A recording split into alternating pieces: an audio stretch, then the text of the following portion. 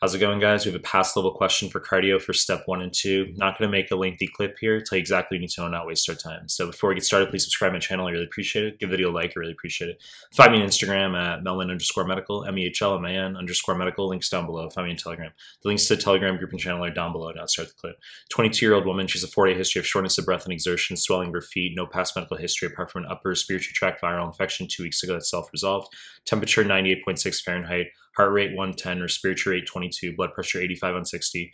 Cardiopulmonary examination shows JVD bibasilar crackles in the lung field. It's a point of maximal impulse in the anterior axillary line. There's an S3 heart sound.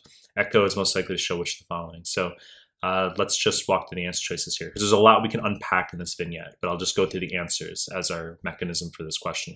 So choice A, acute decompensation of bicuspid aortic valve, wrong fucking answer. Okay, the so this would refer to aortic stenosis, which we don't have a mid-systolic murmur here or a late peaking systolic murmur with an ejection click. Okay, that's aortic stenosis, not mid-systolic click. That's mitral valve prolapse, but uh, late peaking systolic murmur with ejection click or mid-systolic murmur. Nothing about that here. Long discussion about bicuspid aortic valve. It need not be Turner syndrome. It can be autosomal dominant familial, and it can occur in pediatric vignettes.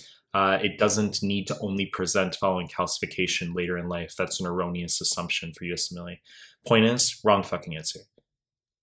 Choice B, asymmetric septal hypertrophy, wrong answer. This refers to HOCM, hypertrophic obstructive cardiomyopathy. Uh, obviously, this is your stereotypical young athlete, uh, sudden death, okay, on the soccer field. Uh, this, for USMLE, high yield point you need to know is that this will be a systolic murmur that worsens with Valsalva slash standing.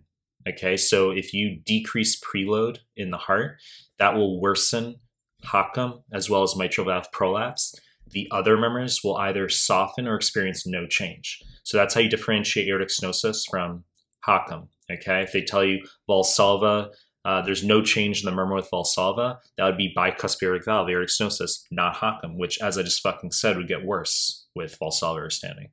Point is, wrong fucking answer. Choice C, ballooning dyskinesia of the left ventricular apex, wrong answer. This could refer to an obscure condition known as Takotsubo, uh, Takotsubo cardiomyopathy, okay? The yieldness is non-existent.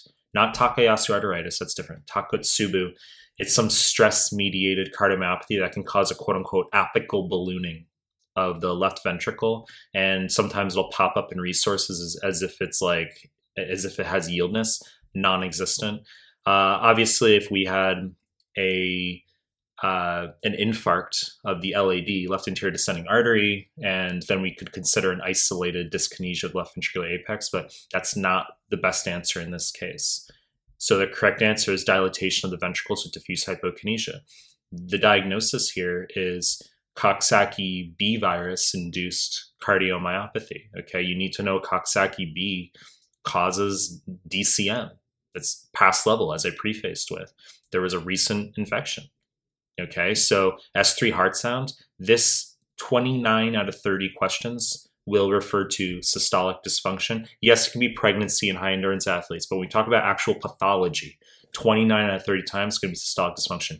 There's one fucking obscure question on one of the new clinical master series forms for 2CK, internal medicine form 7 or 8, where they give an S three heart sound with diastolic dysfunction. It's fucking nonsense, and I swear it's erratum. The internet doesn't say anything about it.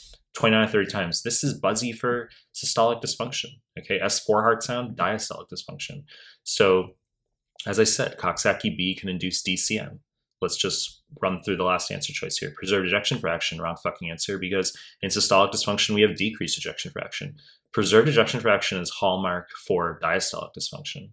Okay, so that's really high yield. So diastolic dysfunction is, is no change ejection fraction, increased left ventricular pressure, no change left ventricular volume. Okay, so you say, but wait, there's the heart can't expand. Isn't there less volume? No, no, no. You can achieve the same volume. You just require more pressure to get there.